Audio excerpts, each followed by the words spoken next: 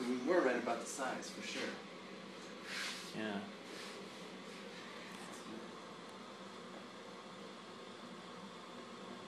Makes me wonder if anything we've seen thus far is actually.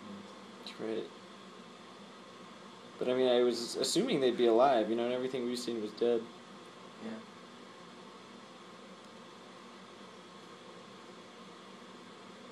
I don't know. I mean, like I was saying, we kind of we sifted through a lot of stuff that they were, you know, Yeah. um, that they were residing in that soil. So